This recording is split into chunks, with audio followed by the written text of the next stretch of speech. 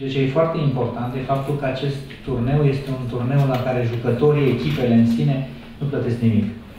Este un, un uh, turneu care a venit un turneu de masă, în care sunt implicați extrem de mulți oameni apropiați de acest sport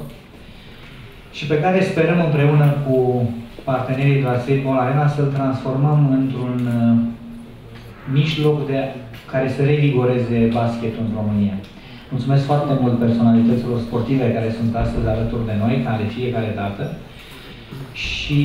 înainte de a ura succes uh, turneului care începe la sfârșitul acestei săptămâni, aș vrea să vă invit de pe acum la ce urmează să se întâmple în perioada următoare în parteneriatul Politehnică Streetball Arena, și anume uh,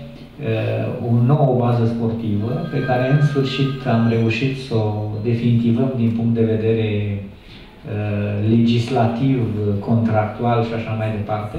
astfel încât în uh, sfârșitul acestui, acestei veri să avem,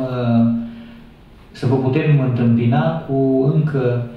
șase terenuri complete, o parte la streetball, o parte în complexul deja am cunoscut, o parte alături de acest complex în bazele universității noastre.